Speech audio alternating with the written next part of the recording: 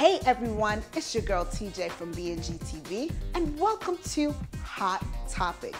Today, I have a very hot topic in music for you. The hot new upcoming artist, Ekeno, just dropped his new video, Ochilaba Remix.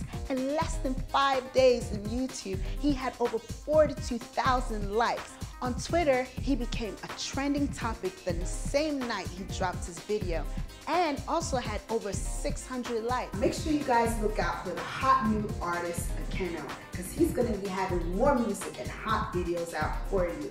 For more music, hot topics, and gossip, subscribe to BNG TV. It's your girl TJ signing out. Peace. Bye.